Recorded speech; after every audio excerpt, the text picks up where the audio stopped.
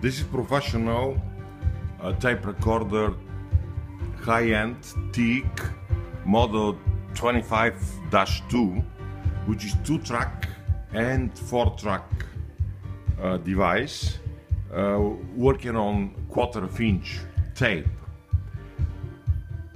In the past, this unit was uh, actually carried by a cart but uh, I used those two parts, the tape recorder, the tape transportation, plus the amplifier section uh, together. I assembled them together, so it means that now this is a unit that pretty much is a unit like uh, Studer 807 or Studer 810.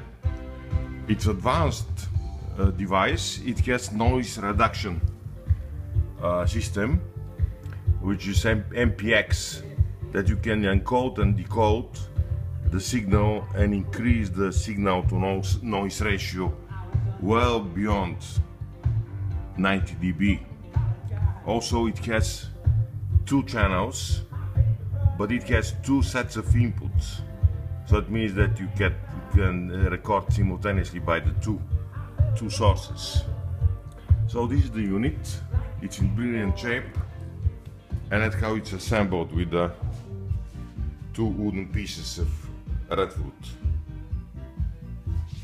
On the back side you can see those two different sections, the amplifier section beneath which is also balanced and unbalanced sets of inputs and also the tape transport.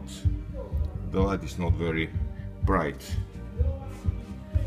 So this, this is my personal unit that I used uh, to have for the last 10 years and it's in brilliant shape. Now it's playing at the moment.